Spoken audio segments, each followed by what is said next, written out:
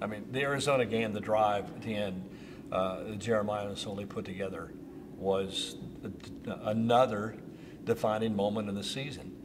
Uh, if they get it done, they're, they're going to go to the Rose Bowl probably. Still going to take care of Oregon State, but that that's a huge opportunity lost against Arizona and, one of the great quarterbacks in the conference at their place, and it's a tough place to play.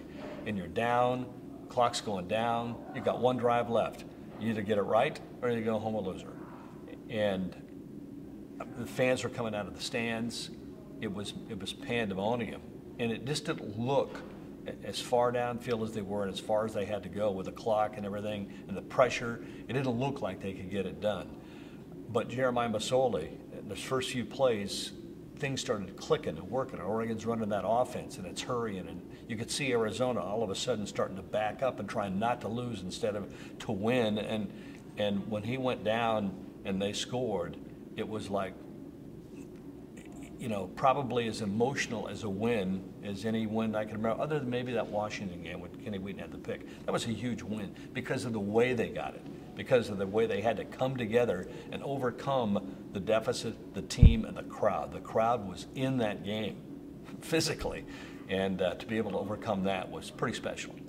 Yeah, you know, the, the third down play to give the ball to LaMichael was was was just a great, smart I won't even call it a gamble by Chip. Uh, you got 14 to go on third down. The defense is, is looking pass all the way. So advantage offense if you run the ball. If you block it well, you're going to have a big hole because they're back looking pass. That was a, that was a great moment. On the on the extra point try, uh, I I watched the hold. It's just part of my job, I guess, because if the hold's not there, then there's going to be no kick. So rather than watch the kicker and watching for the ball, I watch the hold. I saw the snap come in low, and I saw Costa pick it up and set it up, and then the kick. And the moment it happened, I think I said on the radio, "Oh my, you got to watch Nate Costa saved this kick. He just made the play of his life before anybody realized."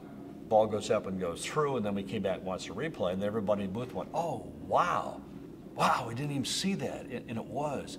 So I saw it when it happened, and that's one of those moments when my stomach dropped a little bit because I thought, he didn't get that ball up, Oregon loses. Great drive, lose the ball game. So that was a that was another one of those thousands of moments I've had in games when your stomach's up and down and all over the place.